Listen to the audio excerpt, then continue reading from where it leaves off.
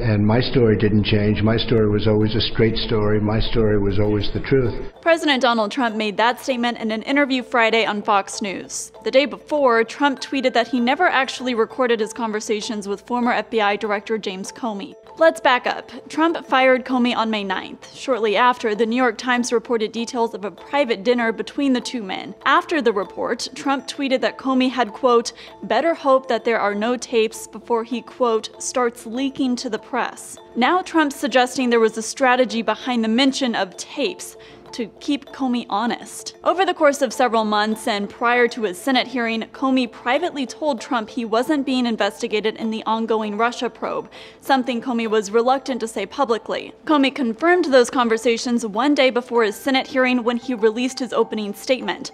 After that statement was published, Trump's personal lawyer said the president felt completely and totally vindicated.